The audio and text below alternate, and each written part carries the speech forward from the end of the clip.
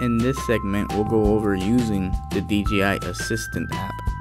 So now that our Ronin's on, we're gonna go ahead and go to the DJI Assist app. It's free to download on the app or Play Store. Go ahead and searching for our Ronin, which is right over there. And I'm already signed in. Normally when you receive our Ronin, you have to sign in using our username and password, which is in the instruction manual that we provide for you when you rent this equipment from us. So I'm just gonna go ahead and click it hit OK, and there I am. Now if you go to right over here where it says viewer, you're gonna go ahead and see the Ronin settings or you know its basic its status update. So you have your capacity, your battery over there at 92%.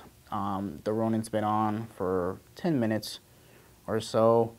Uh, the important part to look up is the top three numbers over here. Um, one is for the pan axis, the middle one is tilt axis, the bottom one is roll axis. The Ronin is not as 100% balanced, but if you notice it's at negative 1, 0, and then positive 1. So you can think of that as 98% balance or 99% balance. And if you notice the three lines over here, they don't go up and down too much. Almost looks like a human being flat lighting. If you see that on the Ronin, it means you're doing a great job. So now we're gonna go to the gimbal side, which is located over here where my thumb is pointing. I'm gonna go up to where it says wizard over here, and we're gonna hit the auto tune stabilization. When doing this, the Ronin is going to test all of its motors and it's also going to vibrate every now and then. When it does that, it doesn't mean that you broke it. It's just taking the engine to its full extent, making sure it can't go there so it doesn't break itself.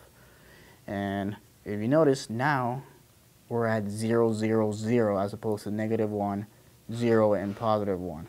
The green one goes to negative one every now and then, but it's okay. Now we're at 99.8% perfectly balanced. Another thing that you can do if you go all the way to the right over here with my, my thumb, you can hit calibrate system.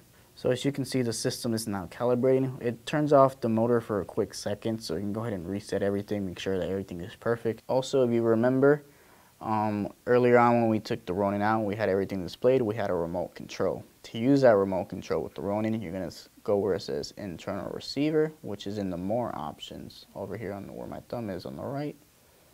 So we're going to go over there, which is right there. Now it's on.